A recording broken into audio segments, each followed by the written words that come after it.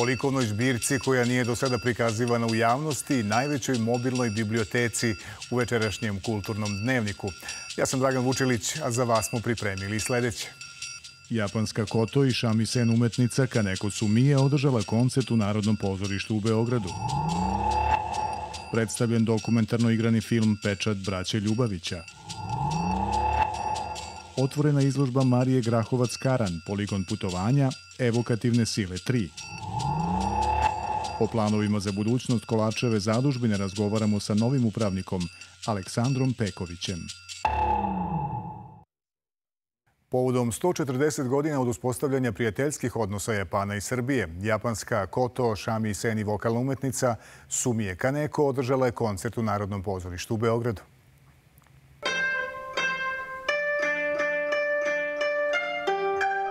Koncert je počeo izvođenjem tradicionalne japanske kompozicije iz 17. veka, pisane za koto, žičani instrument, koji je isprva bio namenjen isključivo aristokratiji.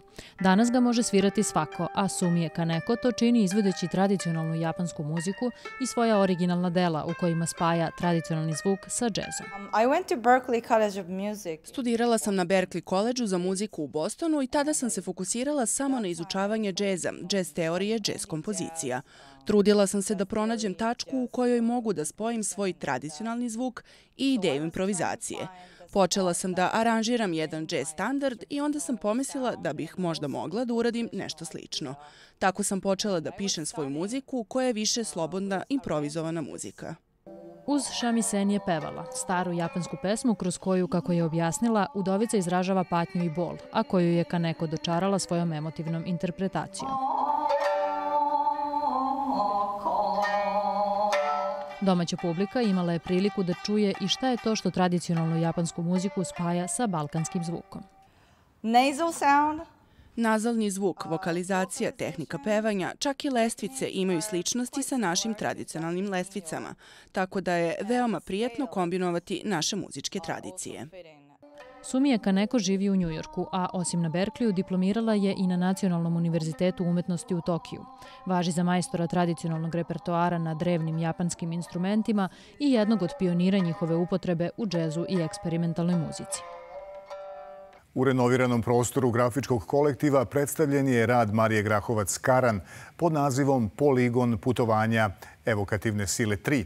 Autorka je na izložbi predstavila svoje shvatanje izmeštanja, ali i traganja i dolaženja do prostorne odrednice. Marija Grahovac-Karani u trećem segmentu projekta Evokativne sile transponuje tradicionalni medij grafiku u nov savremen vizuelni izraz. Radovi serijala Poligon putovanja realizovani su kao digitalne grafike.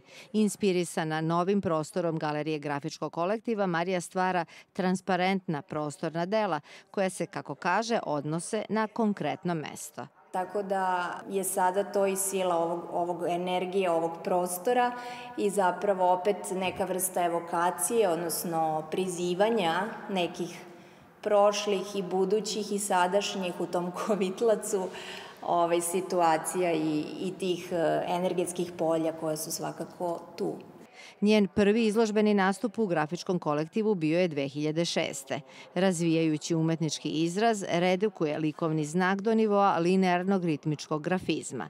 Na aktuelnoj izložbi dominiraju ritam, kontrast i ponavljanja.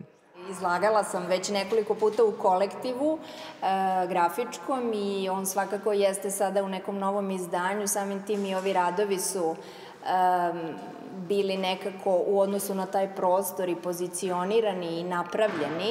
E, tako da su u pitanju e, radovi koji e, su pre svega prostorni i koji su tu na neki način i, i trenutno, iako se odnose na direktno mesto. Nikola Šujica, istoričar umetnosti, premećuje da u novom ciklusu umetnica energetski i smisaono sledi slike koje reflektuju grad, koristeći stakleni izlog iz Prat galerije kao prostorni medijum. Talasaste strukture grafika koje se ponavljaju na aktuelnoj postavci mogu se posmatrati kao zanimljive eksperimentalne forme sa intimnim geometrijskim predstavama koje nude specifičan likovni, vizuelni i energetski potencijal. Kinoteka Republike Srpske predstavila je u Jugoslovenskoj kinoteci dokumentarno igrani film Pečat braće Ljubavića, reditelja Slobodana Simojlovića. Film Pečat braće Ljubavića snimljen je povodom 500 godina Goraždanske štamparije. Braća Teodor i Đurać Ljubavić su iz Venecije štampariju doneli u manastir Sopotnicu – pod pokroviteljstvom svoga učitelja i oca Božidara Goraždanina. Pokrenuli su štampariju koja je radila od 1519. do 1523. godine. To je druga štamparija na našim prostorima, nakon Cetinske štamparije, napravljena u vrijeme već e, uveliko e, otomanske invazije na naše prostore. E, to je rijedak jubilej, to je nešto što govori o našem identitetu. Istraživanje, pripreme i snimanje filma je trajalo nekoliko godina. Ključna je bila saradnja sa lingvistima jer jezik igra bitnu ulogu u pečatu braće Ljubavića. Nas su izuzetno interesovali ti heroji s početka 16. veka i počeli smo jedno istraživanje pre svega u jeziku, jer nam je bila potrebna ta dubinska struktura jezika koji mi na neki način i danas govorimo, a sa druge strane ostavljamo živu vezu, jer to što su štampali goraždanci je i jezik kojim je napisano, na primjer, Miroslavljevo evanđelje. Goraždanska štamparija, iako skromna po broju naslova i tiražu, ostavila je dubog pečat u razvoju srpske kulture i duhovnosti. Služabnik, psaltir i molitvenik koji su štampali braća Ljubović po mišljenju stručnjaka spadaju u najbolje ostvarenja naše stare štampe. U parku Vojvode Vuka otvorena je izložba Likovna zbirka Narodne biblioteke Srbije. Narodna biblioteka, pored svog bogatog knjižnog fonda, čuva i veoma specifičnu zbirku likovnih dela. Pred posetiocima je sada 20 fotografija najznačajnijih slika iz te zbirke. Izložbu su pripremili Dušan Zlokolica i Mirjana Simoski. Mi smo smatrali da je jako bitno da predstavimo e, bogatstvo e, naših fondova i između ostalog da e, makar na ovaj način kroz fotografije likovnih dela predstavimo šta se sve čuva u našoj instituciji, pa je tako tu i portret Vuka Karadžića koji je radio Mića Popović i naravno slika Antona Hutera, Narodna biblioteka u Plamenu koja je slika na 6. aprila 1941. godine kada je Narodna biblioteka bombardovana na Kosančićevom vencu i uništena do temelja. Ta slika na neki način nam je jedno od redkih svedočanstava tog događaja kako je on zapravo izgledao pošto nemamo nikakve fotografije koje o tome svedoče na izložbi Crnjanski na dve slike. Jedna je njegov autoportret iz 1909. godine, a drugu je naslikao Sava Šumanović. Tu Crnjanski stvarno izgleda onako kao što on obično izgleda sa onom bujnom kosom uh, i svojih najlepših godina, ali zato slika ne liči na Šumanović. Mi smo navikli na Šumanovićeve one predele oko šida ili na one kupačice breskove boje. Ovo su neki crno-sivi tonovi, jedna uslovno rečeno ekspresionistička slika sa ćiriličkim potpisom Sava Šumanović svom prijatelju Crnjanskom. Dela koje su predstavljena na ovoj izložbi na otvorenom nikada ranije nisu bila prikazana javnosti. Ova izložba predstavlja neku vrstu predujma za jednu izložbu koju nameravamo da uradimo sa e, Galerijom Srpske akademije nauka i umetnosti. I to bi najverovatnije trebalo da bude sledećeg juna, mi smo se već dogovarali o tome, i neke od ovih slika će biti tu izložene. Likovna zbirka Narodne biblioteke Srbije sadrži više od 300 slika i skulptura eminentnih srpskih i jugoslovenskih umetnika, među kojima su reprezentativna dela Save Šumanovića, Miće Popovića, Peđe Milosavljevića, Milana Konjovića, Petra Lubarde i drugih.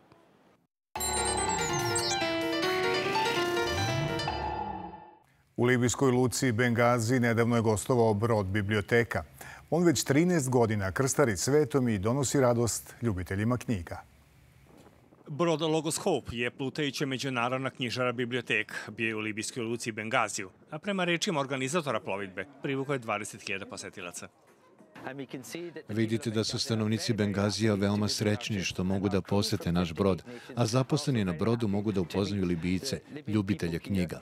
Dolaze da kupe knjige. Neke su namenjene deci, druge su knjige iz medicine, tehničkih nauka, stručnja izdanja u vezi sa kompjuterima, potrebno računovođama, različitih su žanrova. Na brodu knjižari se može naći više od 5000 naslova. Velika zbirka ima raznovrsne knjige o sportu, gastronomiji, umetnosti i nauci, a tu su i rečnici. Knjige su na engleskom i arapskom jeziku. Dolazak broda ploveće knjižare biblioteke u Bengazi je veliki događaj. Privukao je ogromnu pažnju i mnogo posetilaca. Bila sam na otvaranju i pregledala knjige. Većina je na engleskom jer je to jezik nauke, ali ima i mnogo naslova na arapskom. Kupila sam tri knjige. Brod u Bengaziju bio usred nedelju dana. Na njemu rade volonteri iz 58 država, a od 2009. godine krstari velikim svetskim lukama. Sve knjige se prodaju, a brod se smatra najvećom pokretnom knjižarom bibliotekom na svetu.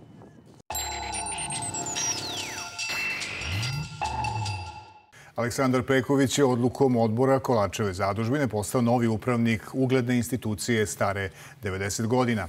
O planovima za budućnost ove institucije razgovaramo sa novim upravnikom Kolarca. Dobroveče i dobrodošli u Kulturni dnevnik. Hvala najljepše na pozivu. Čestitke na imenovanju. Hvala. Radili ste u muzičkoj redakciji naše kuće, Radio Televizije Srbije. Radili ste u Skupštini grada, autor ste brojnih projekata u oblasti kulture i kreativnih industrija. Pa kakav vam je plan E, kada je Kolačeva zadužbina u pitanju i imate li već neku strategiju za budućnost?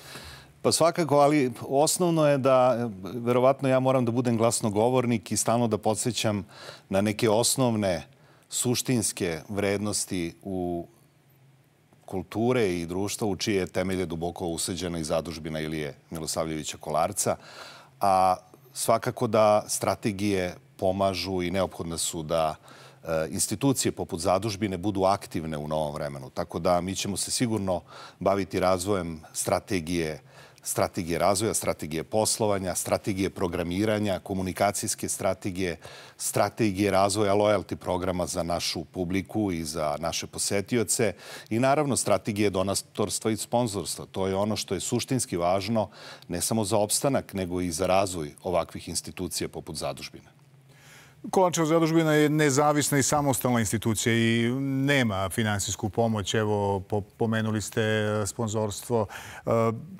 Nema finansijsku pomoć ni države, ni grada Beograda, ali je svrstena u red institucija koje uživaju posebnu brigu, tako se to kaže. Šta to znači konkretno? Do prošle godine zadužbina Ilije Kolarca je imala sporadično prema konkursima sufinansiranje za određene programe koje, koji su se realizovali u, u samoj zadužbini, ali stratešku pomoć finansijsku nije imala. Do prošle godine, kažem, zato što je e, zakonom o kulturi definisan e, status zadužbine, a on e, znači da je zadužbina uživa posebnu brigu grada i države i da u tom smislu ima, postoji osnov za sufinansiranje materijalnih troškova zadužbine u određenom procentu, to je do 45 procenata. Ono što je bitno, nama je sada važno da sa državom, sa, i to je pre svega zahvaljujući, moram reći, zahvaljujući Ministarstvu za kulturu i ministarke za kulturu, nama predstoji da sa ministarstvom i sa gradom e, sklopimo ugovor da bi ta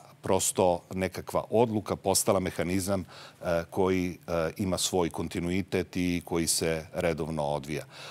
To je ono što je suštinski bitno. Inače, zadužbina, evo, već vek i po gotovo vek i potraje, čime se zaista Ilija Milosavljević svrstava među najveće vizionare e, našeg doba i činjenica je da 75 procenata ukupnih prihoda zadužbine je zapravo stizalo iz e, prodaje e, naših proizvoda, da kažem, e, ulaznica ili određenih programa, a naravno i rentiranjem prostora, 25% od sponzorstva i donatorstva. Koncerti su možda prva asocijacija kada se pomene kolarac, ali to nije sve. Vi imate školu stranih jezika, imate knjižaru, bioskop, organizujete izložbe domaćih i stranih autora. Šta sve publiku očekuje u ovoj novoj sezoni? Pa do, dobro ste rekli, evo, strani jezici, Institut za strane jezike je prvi u Srbiji koji, koji je počeo nastavu, kontinuiranu nastavu stranih jezika. Potom Srce Kolačeve zadužbine je koncertna dvorana gde su nastupala najveća svetska imena u oblasti klasične, ali ne samo klasične, nego i džez i drugih e, oblika, e, žanova muzike, savremene muzike i tako dalje. Ono što nas očekuje, što možemo da najavimo, to je recimo jedna poslastica za ovaj deo sezone, to je koncert Nemanja Radulovića 30. oktobra. E, on iz Kolarca kreće na svetsku turneju sa novim albumom za Warner, sa svojim ansamblom Double Sense, tako da će to sigurno biti velika poslastica za našu publiku. A sledeće godine, za sledeću godinu spremamo jedan ozbiljan program koji će biti za publiku i sladokusce.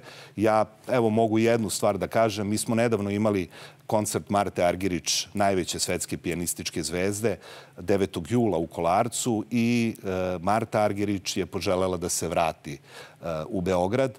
To je velika čast i velika privilegija, jer imajući u vidu da ceo svet traži Martu Argirić, a ona osim nekoliko njenih omiljenih mesta gde voli da svira, na tu listu je došao i Beograd. Tako da je to velika čast ne samo za Kolarac, nego i za Beograd i srpsku kulturu. Od kako ste imenovani za upravnika, nekoliko puta ste povukli paralelu između Kolarca i Carnegie Halla. Zbog čega ste to uradili? Šta im je zajedničko, a gde su razlike? Zadužbina Ilije Kolarca je nešto malo mlađa zadužbina od Carnegie Halla, ali evo ove godine slavimo 90 godina. E, Carnegie Hall je takođe zadužbina s tim što on u ovom trenutku uživa posebnu brigu grada Njujorka jer je na časti ponose ne samo grada Njujorka i, i Amerike, već čitave svetske kulture. Tu postoji ta sličnost. Znači, e, u tom smislu jedna tradicionalna, klasična e, koncertna dvorana i zadužbina sa svojim delatnostima je vrlo savremena u ovom dobu i zato je Kolarac bio veliki, veliki vizionar i možda je to najveći test vremena koji je preživljen, gotovo vek i po, kažem, pune 144 godine koliko u različitim uslovima zadužbina opstaje i zato da se vratim na sam početak je i moja uloga da budem glasnogovornik i da stalno podsjećam na osnovne vrednosti našeg društva i kulture, a tu je svakako zadužbina Ilije Kolarca.